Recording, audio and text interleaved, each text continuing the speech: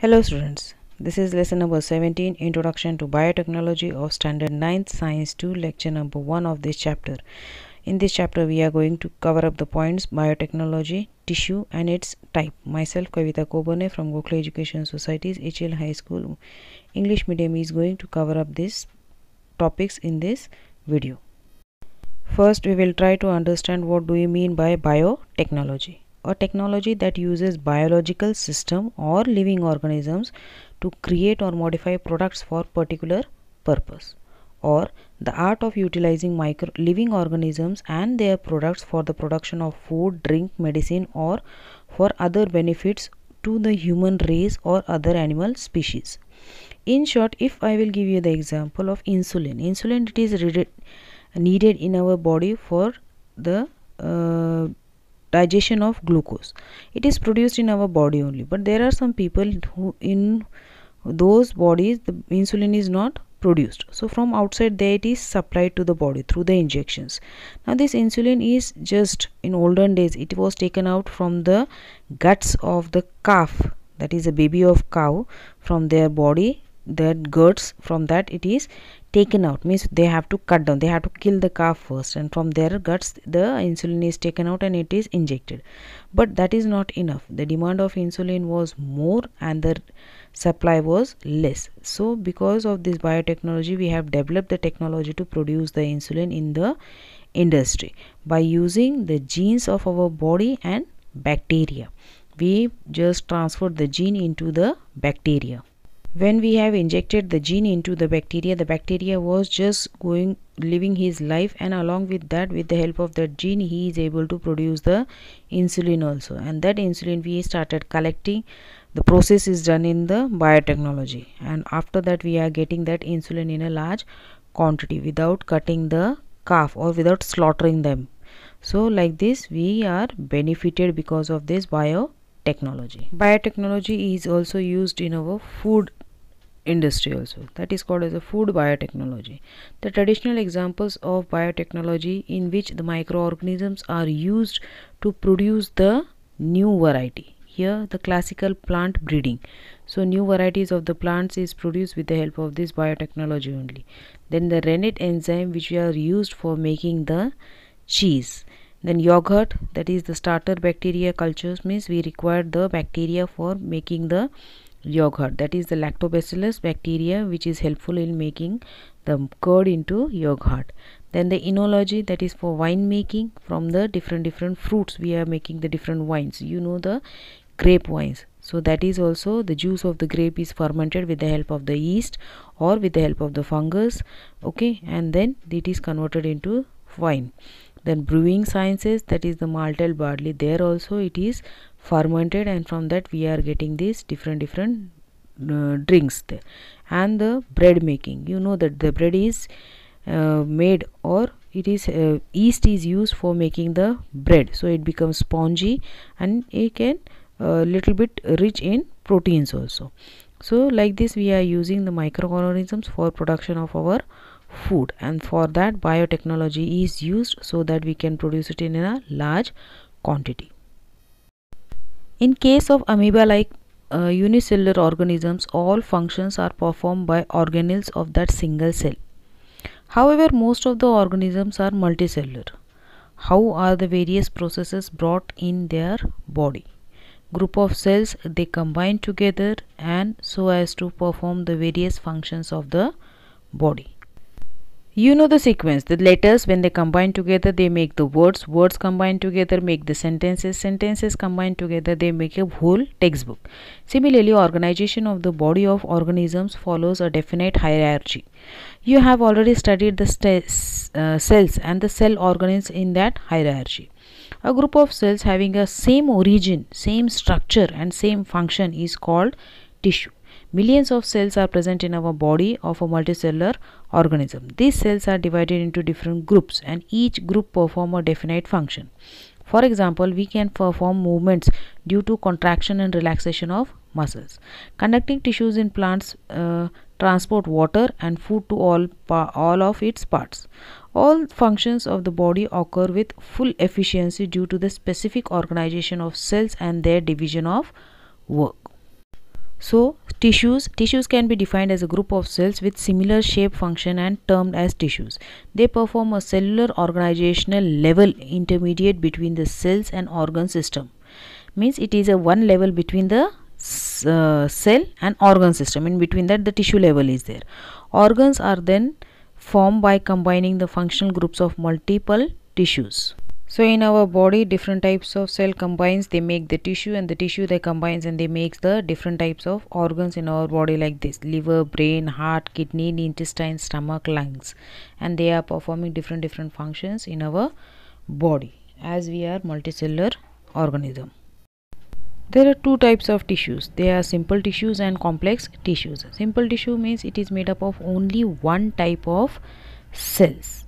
All cells of this tissue work as individual units to perform a particular function. The example is parenchyma, collenchyma, sclerenchyma or we can say epithelial tissues of animals and meristematic tissues of plants. They are the example of simple tissues.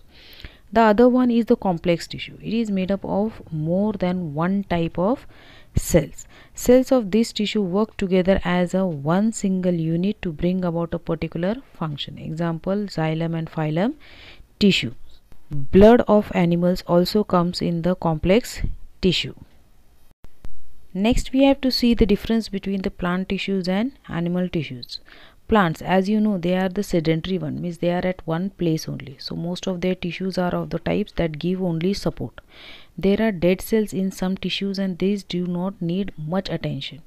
Growth of plants occurs in specific parts of their body where the tissues contain contain dividing cells as animals have to move from place to place in search of food shelter and partners their energy needs are greater most of the tissues of animals are made up of living cells Uniform growth occurs throughout the body of an animal and they do not have different dividing and non-dividing tissues.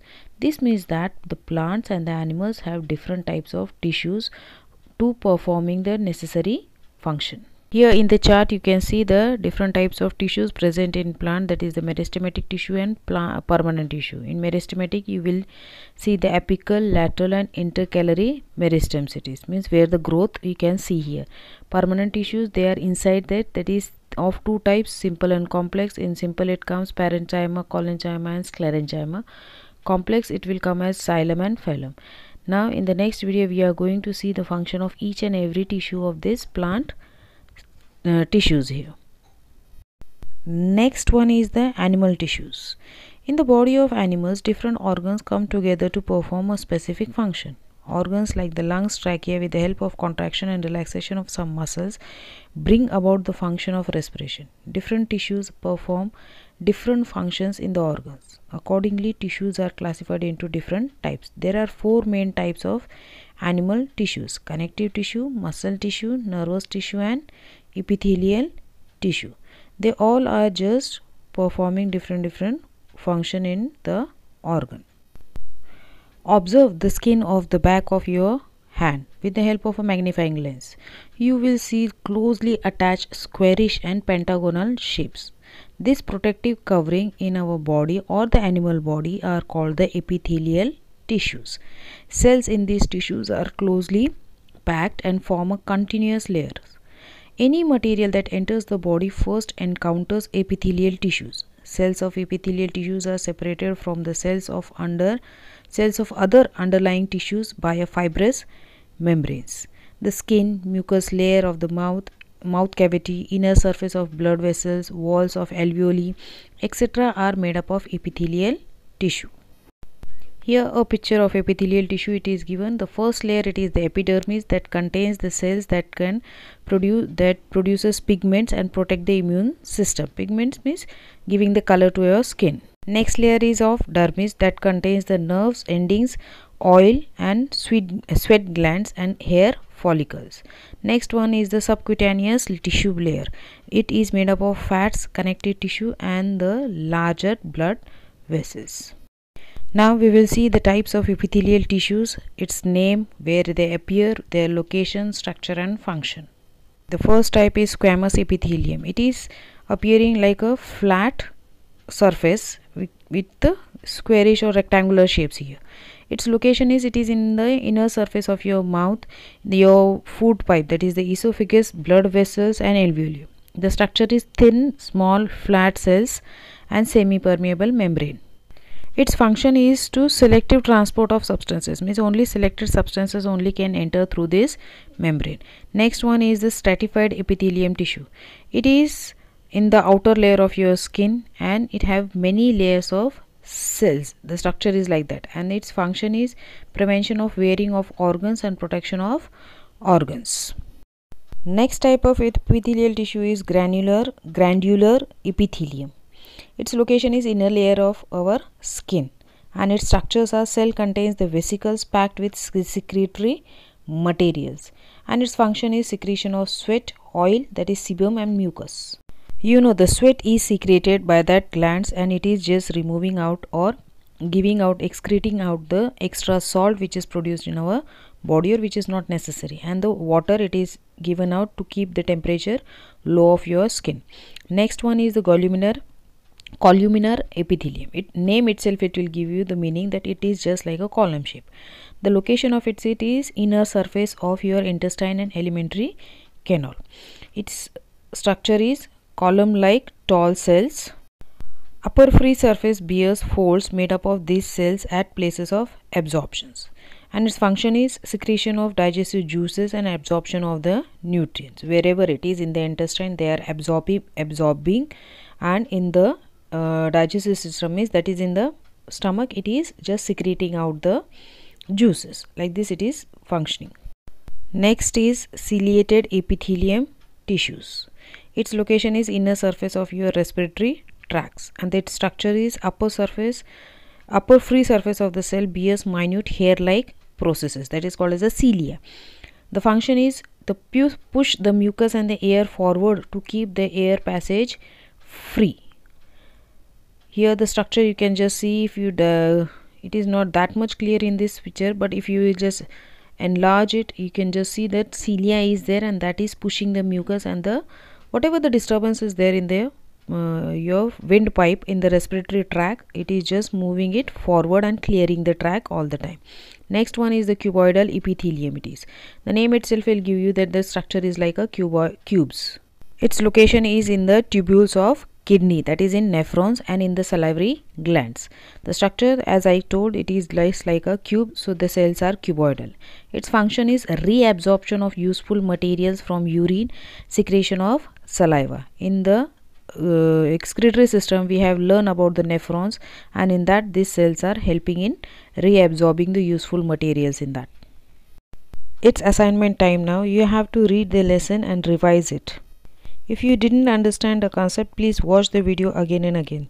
Thank you for watching it. Stay home stay safe. If you like the video please like share and subscribe. We are we are going to meet in the next video soon. Till then take care and goodbye